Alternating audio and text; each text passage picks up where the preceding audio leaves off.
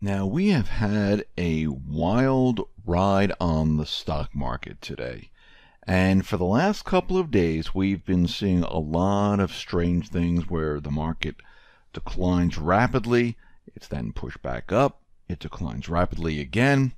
And what we're seeing right now is a stock market war. Now, remember, the stock market is completely manipulated. I know everyone wants to believe that this is going down for this reason or that reason, but this is a manipulated market. It is a tool and they're using it against each other. And what am I talking about? I'm talking about the central banks, the deep state, and the Trump administration. They are fighting it out right now. Now, they both have their own weapons. They're able to control the system.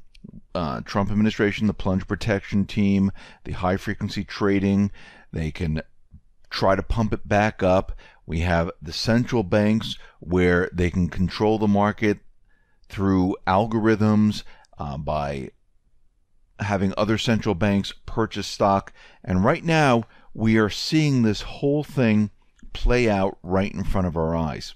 And we're going to discuss that in a, little bit later in this report.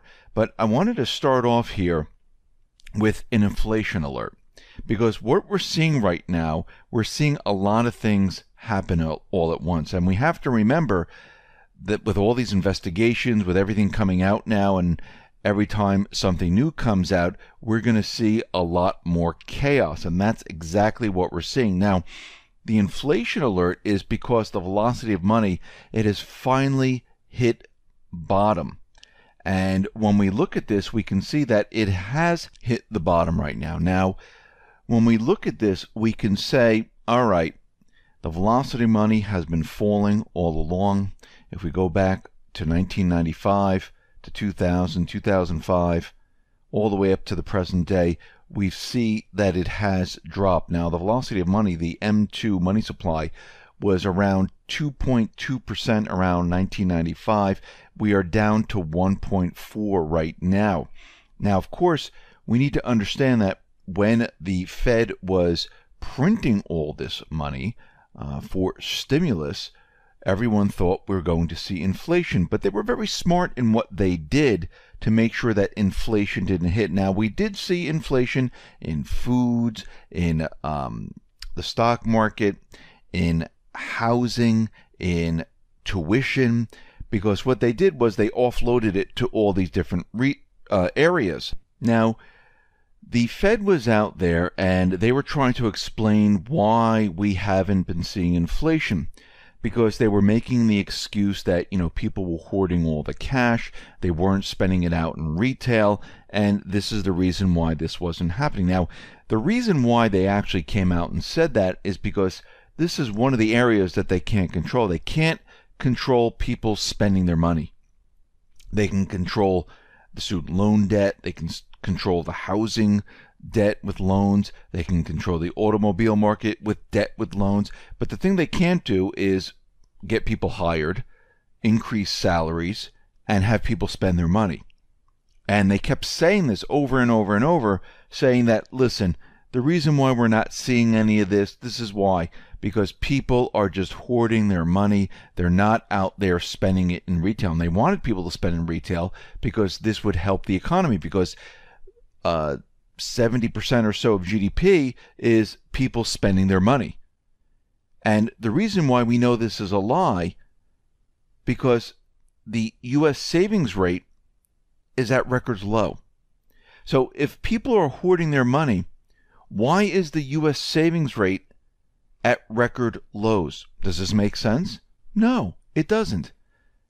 They said this to make everyone believe that this is the reason why this was happening. Now we see the velocity money, it hit bottom, and most likely we're going to see this thing take off, and we're going to see inflation. And we can see that everything is starting to break down right now we see that the stock market came down around a thousand points today. This is a stock market war.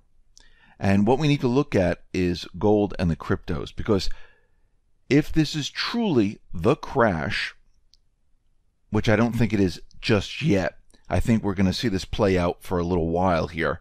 We're going to see people rush into gold, rush into silver, rush into the cryptos, and you're going to see that rise. Now, if you see gold, silver, the cryptos taken off like crazy, and it might be the cryptos first, then gold, you know something's up. So if you see gold, for a, a great example, if you see gold moving up by 50, 100, moving up like that, you know something's going on. Now, they might use a flash type of paper crash on gold where they bring it back down and they try to control it during this whole period of time.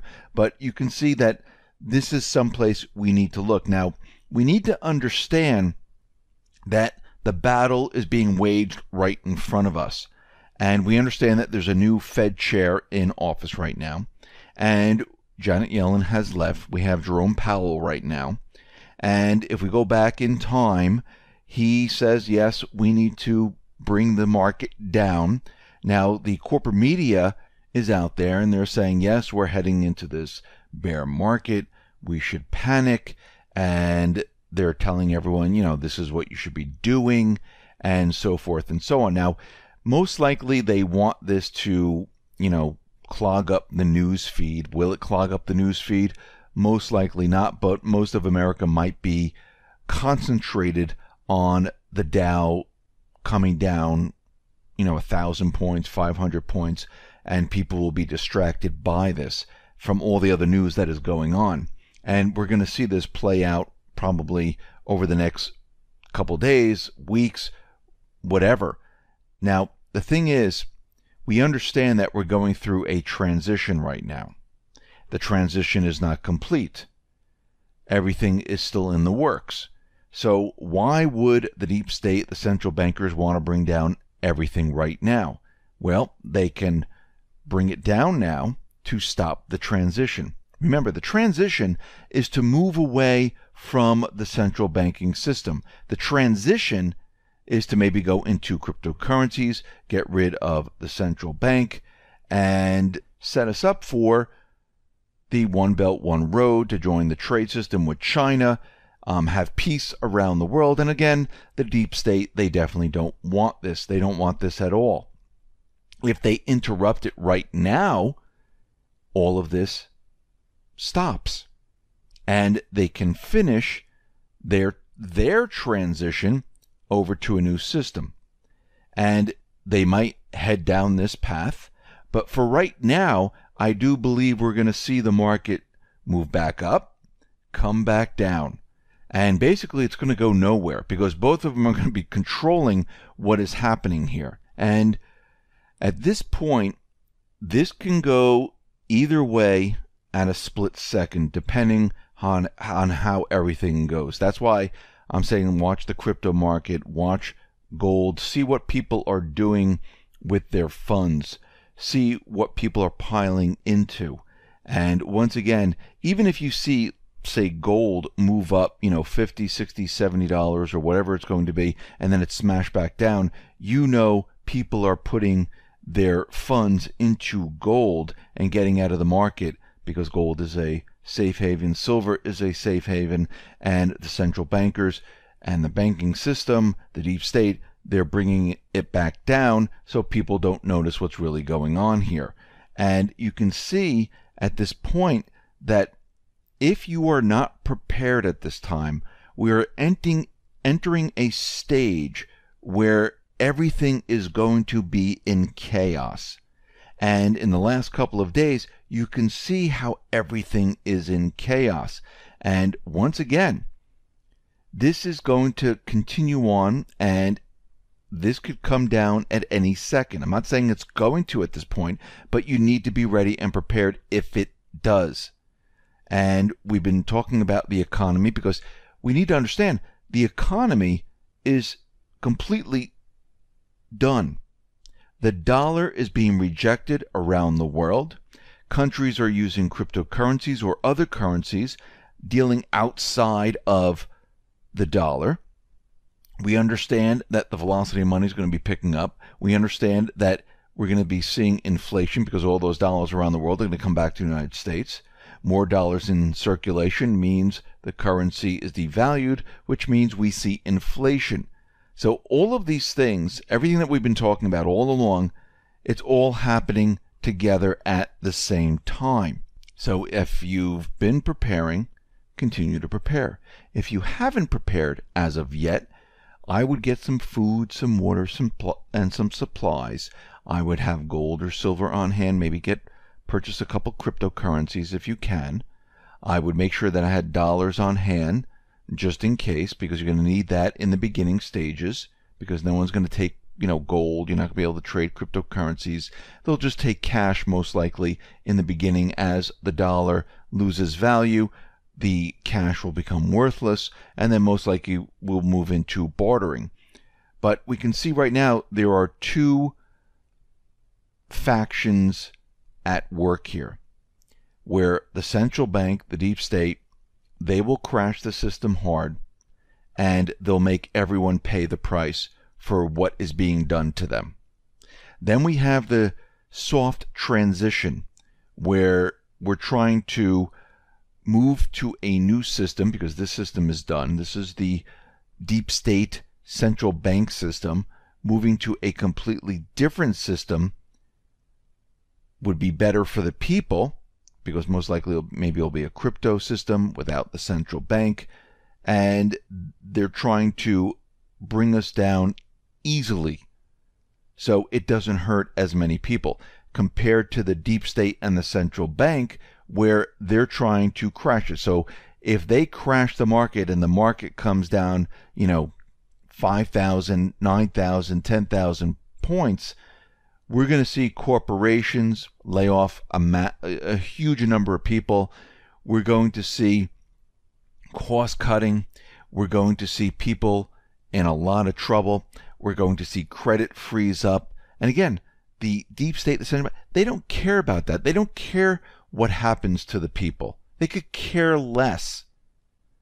So we're in this phase right now, in the chaos phase, in this limbo phase where they're battling it out right in front of us. And I wouldn't be surprised if we wake up tomorrow morning, maybe the market goes down a little bit, and all of a sudden it shoots back up to, you know, a positive number, maybe even the same number that it dropped, because we're starting to see that too, where we're starting to see the sun, the numbers match. It drops by you know by 567 points, then it's back up by 567 points. We might see it drop, you know, as it did today by a thousand points. We might see it back up by a thousand points to continually keep the market, you know, on an even playing field. And this is what they're going to try to do. Now in in in the minds of everyone out there they see the market go back up. Everyone is relieved. Everyone feels good. When the market goes down everyone you know gets very nervous and terrified. And this is what we're seeing right now. Now we're coming up on the weekend and tomorrow's friday and normally what they do on a friday they end on a good note that's what they normally have done in the past you go into the weekend, you feel good, everything is great. You come out on Monday, well, things start to fall apart again. This time, it's a little different. The Trump administration, with the plunge protection team and the high frequency traders, would like the market to be up on the weekend so everyone feels okay during the weekend. The deep state, the central bankers, would like the market to be down now so everyone can feel the pain. They're doing the opposite right now because they're not in full control.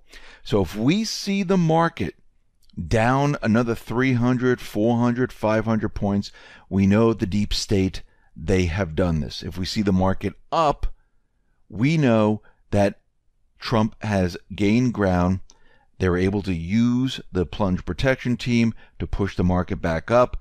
And we're going to go through this weekend feeling good, and most likely on Monday, the deep state will bring it back down. So let's see what happens here, but we can see we're going to see this play out going through the end of this week, going to the next week, and this is the stock market war we are watching right now. But besides what is happening in the market, the economy is still falling apart. It has been for a very long time. The debt levels are too high. People have been losing jobs. The quality of jobs not there. And everything is manipulated. So what we're seeing right now is the real economy, which we've been reporting on, the people's economy, it's still falling apart. That hasn't changed. The only thing that we're watching right now is the signal to let everyone know the economy failed, to give corporations excuses to lay off people, to give banks excuses to go after your funds inside of the bank called bail ins. That's it.